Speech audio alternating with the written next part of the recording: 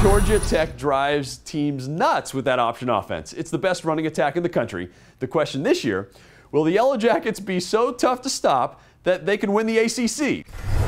Well, I think, you know, Tevin got off to a great start a year ago and uh, was putting up some amazing numbers, and then he kind of went through a little span where uh, I think he lost some of his confidence and didn't play as well.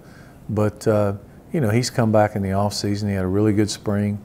I think he's really confident in what he's doing. He's, you know, got a good uh, uh, idea of what we want out of him. And uh, he's matured and become quite a leader for our team. So I'm excited. I think he'll play his best football this year, senior year. There's definitely a sense of comfort. Uh, Tevin's been here for a while, so he knows the system. Uh, he's mature. Uh, he's working on being, a, being a better leader on the team. He's been a great teammate to me and a bunch of other people. A lot of people love Tevin because just because of his humility, and a lot of players are, you know, attracted to that. So it's definitely a, a sense of comfort when you come, when you're able to be uh, in close contact with a player like that.